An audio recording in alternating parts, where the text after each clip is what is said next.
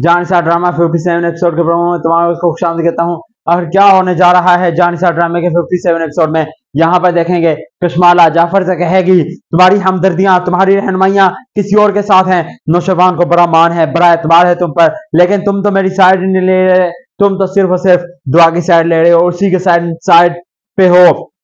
वहीं पर जाफ़र, जिसे शक हो चुका है कश्माला पर, कि कश्माला बीबी ही सब कुछ कर रही है। क्योंकि जाफ़र ने कश्माला को नौशरवान के अंगूठों के निशानात लेते हुए देख लिया था कि कश्माला ही किस तरह दुआ को और सर नौशरवान गजनबी को अलग कर रही है और किस तरह सरफराज को बीच में लाकर सारा प्लान कर रही है। वहीं पर देखेंगे कश्माला पुलिस के इंस्पेक्टर को पैसा देगी, एसएचओ को पैसा देकर दुआ को तशद करवाएगी कि किसी भी तरह दुआ ये कबूल कर ले कि सबका सब कुछ जो भी मामला हैं, वो किए ही द्वारे हैं। वहीं पर तमाम व्यवस्था देखेंगे कि जान सा ड्रामे की एंडिंग होने वाली है। जान सा ड्रामे का third last episode next week के फ्राइडे को आएगा और लास्ट एपिसोड जो नेक्स्ट वीक में ही हो जाएगा। जान सा ड्रामा देखते रहे ट्विंस ब्रदर्स पर हाफिज।